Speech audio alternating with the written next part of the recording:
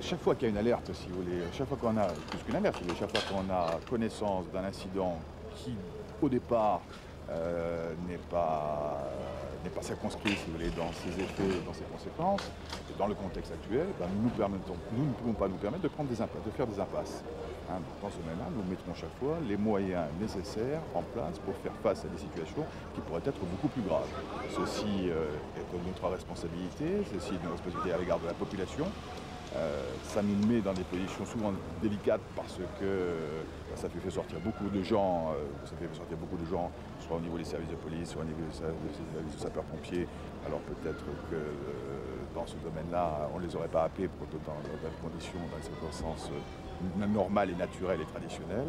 mais je crois que c'est notre métier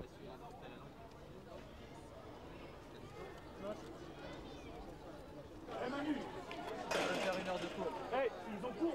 Ils veulent faire une heure de cours. Ça sert à rien. N'y a rien. Eh Manu